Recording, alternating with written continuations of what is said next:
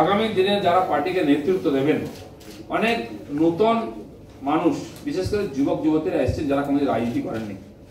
তারা শিক্ষিত, সমাজ সচেতন, দুনিয়ার খবরাখবর রাখেন।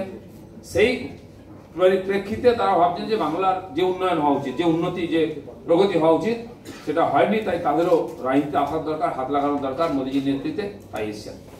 এছাড়াও বিভিন্ন পার্টি থেকে বহু পুরনো, অভিজ্ঞ, সফল রাজনীতিবিদ আমাদের পার্টিতে যুক্ত হয়েছেন, প্রতিনিয়ত আসছেন।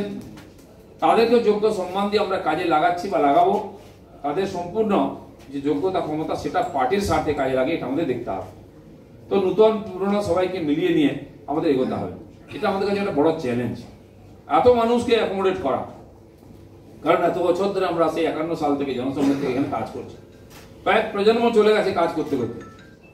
তার চন্দনের মতো নিজেকে ঘষতে ঘষতে শেষ করে দিয়েছেন। কিন্তু যে সাফল্য পাওয়া উচিত সেটা আমরা পাইনি। অন্যান্য